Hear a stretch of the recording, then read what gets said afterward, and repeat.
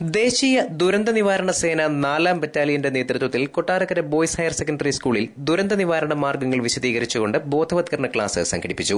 തിങ്കളാഴ്ച രാവിലെ പത്ത് മണിക്ക് ആരംഭിച്ച ക്ലാസ് കൊട്ടാരക്കര തഹസീൽദാർ കെ സോമസുന്ദരൻപിള്ള ഉദ്ഘാടനം ചെയ്തു. മെയ് പതിനഞ്ച് മുതൽ ഇരുപത്തിരണ്ട് വരെ കൊല്ലം ജില്ലയൊട്ടാകെ ദുരന്ത നിവാരണ ബോധവത്കരണ ക്ലാസ് സംഘടിപ്പിക്കുന്നുണ്ട്. ഇൻസ്പെക്ടർ ബാൽവത് സിംഗിന്റെ നേതൃത്വത്തിൽ ഇരുപത്തിരണ്ടംഗ സേനയാണ് ബോധവത്കരണം നടത്തുന്നത്. സാമൂഹ്യ ബോധവത്കരണവും റവന്യൂ ഫയർഫോഴ്സ് പോലീസ് സേനകൾക്കുള്ള പരിശീലനവും തിങ്കളാഴ്ച കൊട്ടാരക്കരയിൽ നൽകി. തദ്ദേശ സ്വയംഭരണ സ്ഥാപന പ്രതിനിധികൾ scout and guide NSS NCC അംഗങ്ങൾ എന്നിവരും ക്ലാസിൽ പങ്കെടുത്തു.